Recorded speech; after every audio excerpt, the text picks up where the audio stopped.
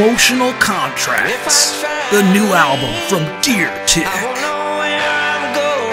Probably nine, or maybe even ten original hits, including songs about sunsets, songs about strangers on the beach asking each other to marry them, songs about plants being overwatered, songs about somebody else's dog.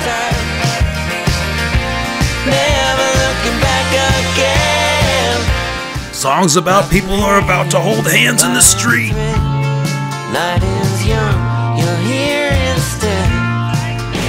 Emotional Contracts, the new album from Deer Tick. Songs about birds and people holding hands. Call 1 833 Deer Tick. That's 1 833 D E E R T C K. Call now.